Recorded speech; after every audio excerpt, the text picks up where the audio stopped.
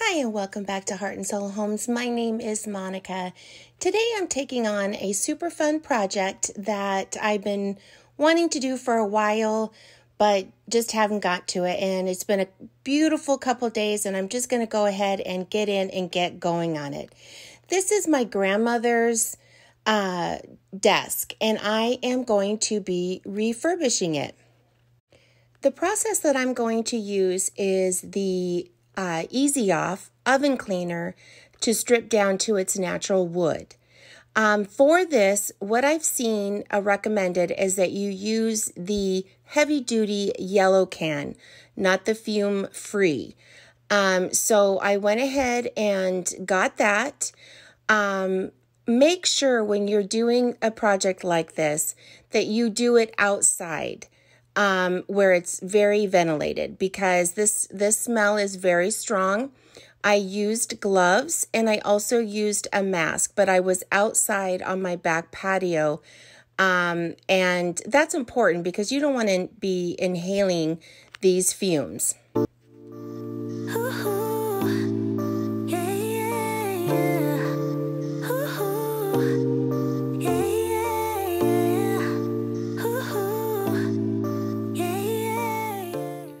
Process I used, I've never done this before, this was new to me, is I would drench it all over, um, all over the, you know, on the wood.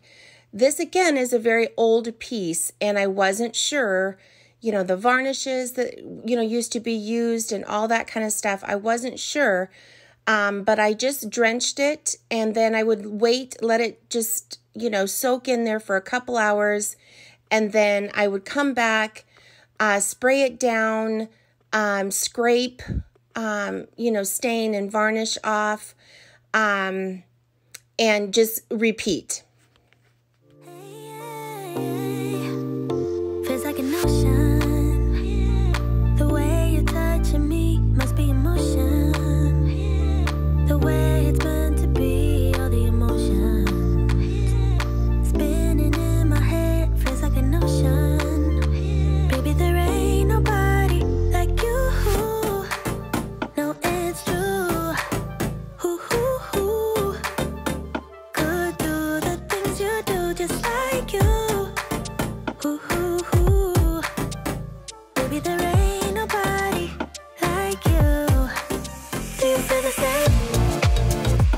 I got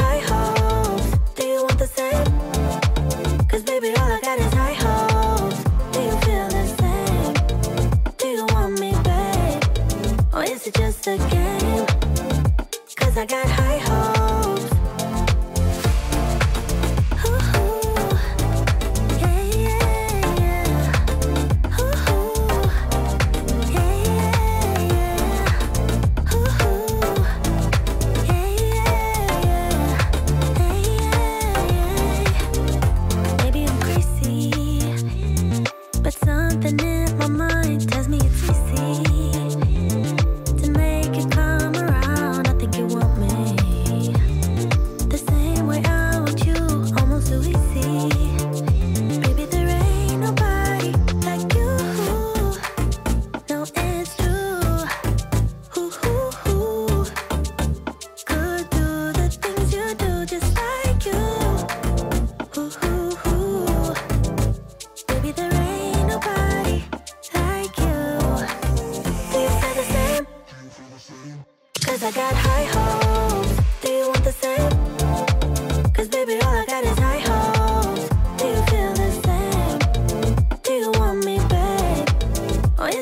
again.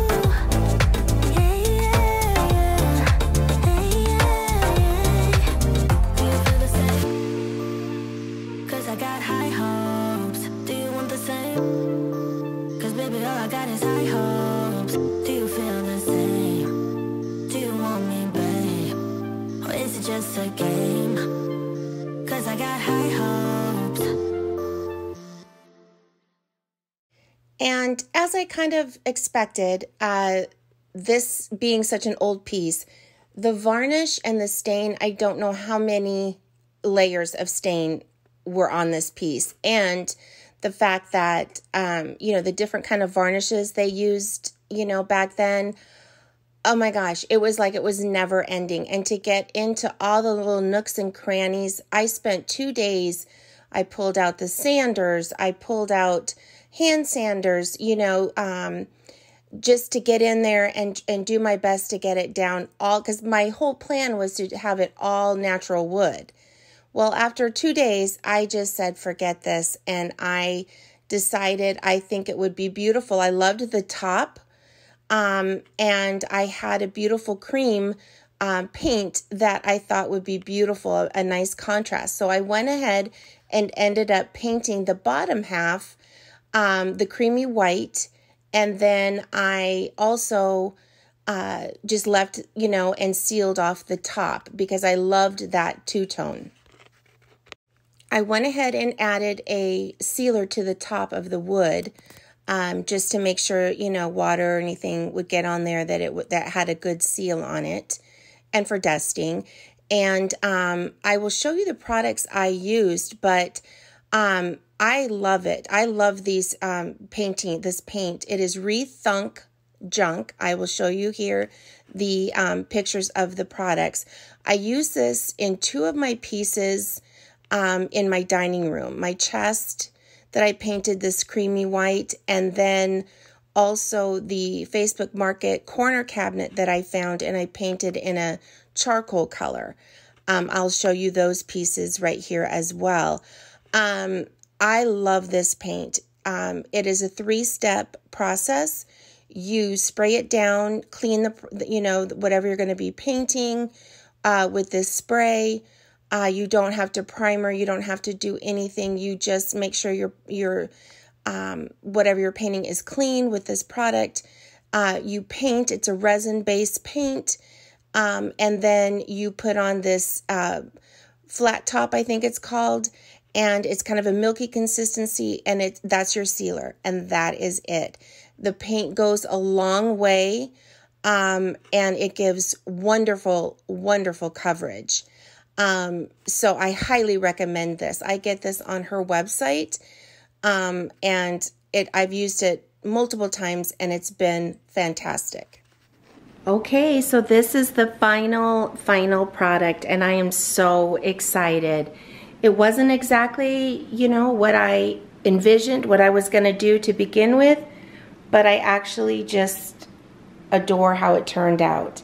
I think it's the perfect little you know, piece for this wall.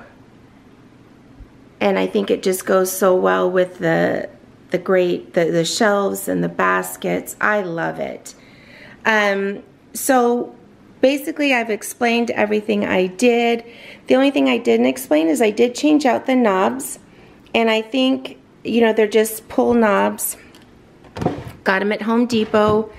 Um, and I just think it just updates it, but it still makes it look, you know, kind of country and, you know, old and cottagey. Notice that it's not perfect. I didn't want it perfect. A little bit of the stain, I don't know if you can see, there you go, kind of came through. And I, you know what I mean? I couldn't get everything off, but I love the, you know, the Im imperfection. I think it really brings beauty to it. I'm so excited. Um, I sure hope if you guys try something like this that you will uh, tag me and on Instagram and show me, you know, different products or different projects you've done. I just think this is so beautiful. This was, you know, once my grandmother's in her home and now it is in mine and it fits me, but it we took an old piece and just made it new again. Um, thank you so much for watching. I hope you got some ideas and some inspiration and just understand that, you know, sometimes you start out with one project and you think that's how it's going to go and it doesn't end up going that way, but it comes out beautifully. Just go with the flow and, you know, do your projects with intention. Thanks so much for watching and I'll see you in the next one. Bye.